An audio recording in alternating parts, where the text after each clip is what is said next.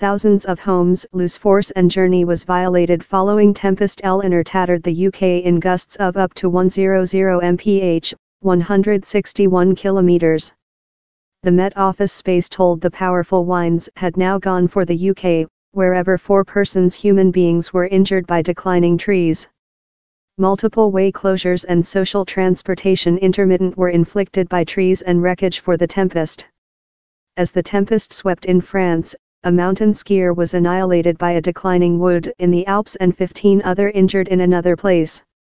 In Cornwall, several residents include been informed to keep their homes at top tidal since of a compressed rock harbor side in Port Portreath. The justice says the consultation is a caution. The Met Office space told how for the tempest gusts of more than rather than 70 mph were written through lot of the UK.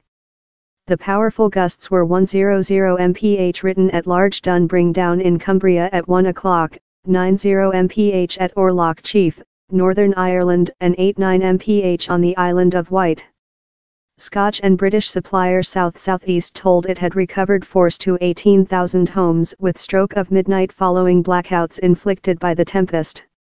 In Worcestershire, a man was injured by a declining wood and else man was purified by paramedics following a wood bring down on a car in Hensol, Valley of Glamorgan. In Hinton ADM, Hampshire, two human beings were released of a vehicle, that had been affected by a wood for the hard winds, at on 3 o'clock. Both of men were undertaken to clinic, with later the motorist has been detained on suspect of creature by the impact of drugs time at the tire. A flesh was restored on the shore of East Sussex at on 8 o'clock, following the remnant worse body in the water supply. It was not named if the man was swept in the water supply by the weather facility. As the tempest done landslide on continent Europe, air transportation to the UK were struck.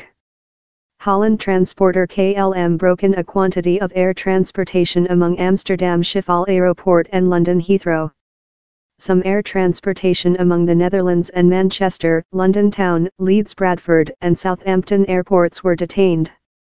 Inverted vehicles led to closures on the ONE1M, M6 and M5, wherever a restoration transactions was by way to precise up the table of contents of a truck leftward shed on the way. Few main bridges were closed due to top winds.